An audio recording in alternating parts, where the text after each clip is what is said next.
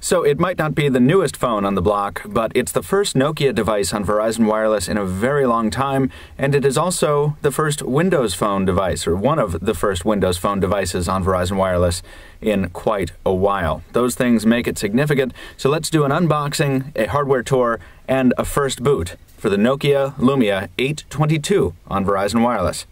I'm Michael Fisher. This is PocketNow.com. Let's get to it.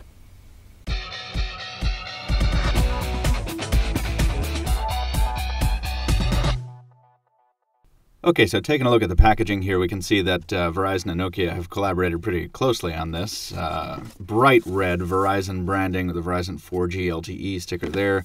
Some phone features on the back. Let's just take a look at it, telling you that it's a Nokia Lumia 822 with the LiPo battery, what's included in the box, and not much else, just a bunch of legalese down there, and then there's a label on the bottom. Let's go ahead and take the sleeve right off. Discard that. That pattern is repeated on the inside, nothing on the back, so let's go ahead and pop this open. This is a true unboxing this time around. Have not been inside the box yet. We don't even know what color we're getting, and it's white. Hooray! Well, that sounds like fun. Pop the device out of the box real quickly. Still cold from, from sitting on the, the stoop there. We'll go ahead and put that aside for a second, see what else is inside here. Ah, heavy container means there's things in here we don't want to miss. In this case, product safety and warranty information. Well, maybe we'll miss that for now.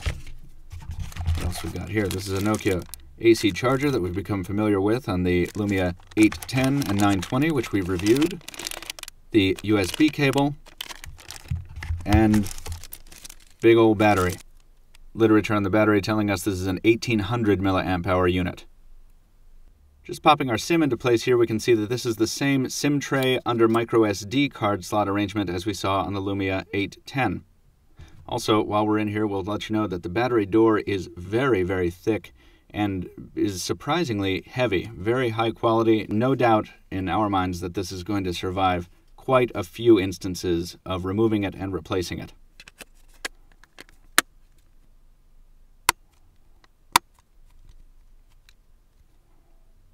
Battery door snaps in securely.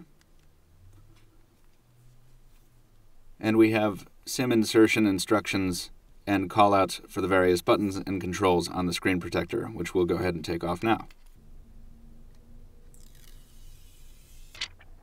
Very nice.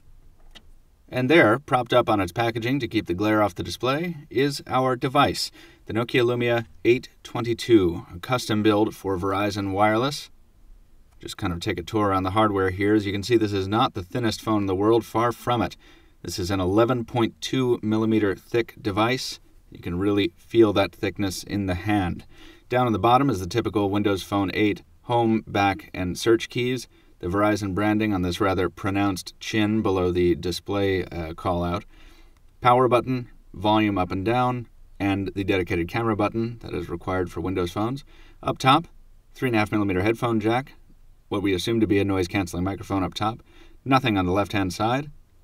We come around to the back and we see the same shape lens housing uh, as we see on the 810 and the 920, calling out the Carl Zeiss optics and the 8 megapixel autofocus camera.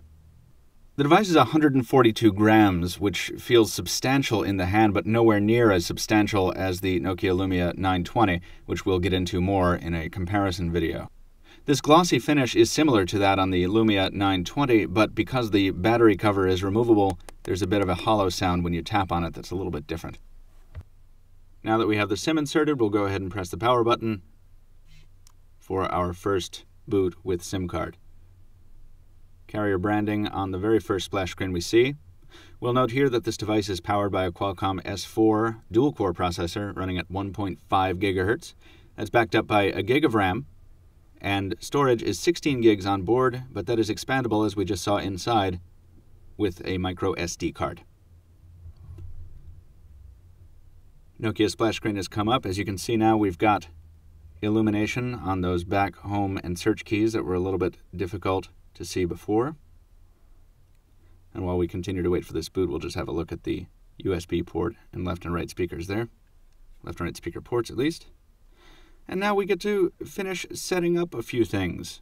Well, thank you for your help, Windows Phone. we'll go ahead and do that. And we'll accept those remaining terms, and this should be it. Boom! There's our home screen, the bright red Verizon Wireless branding dominating everything. We already have our Windows Live account logged in. There's our welcome text message. Software seems to be running in accord with the way it should be.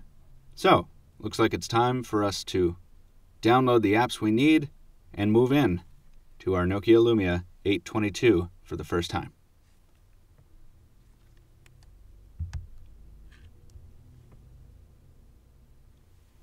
Hope you enjoyed our unboxing, hardware tour, and first boot of the Nokia Lumia 822. Stay tuned in the days ahead. We're going to have a comparison video and, of course, our full review video, in addition to the full review at pocketnow.com, so stay tuned for that. In the meantime, throw us a like here on YouTube if you like what you saw. Follow us on Twitter. PocketNow Tweets is the official account. Follow me on Twitter if you want, Captain2Phones, Captain the number two phones. And leave us a comment on the post at pocketnow.com if you want to have a dialogue. We generally don't get to the YouTube comments because we're too busy opening new phones. Thank you once again for watching, and we'll see you next time.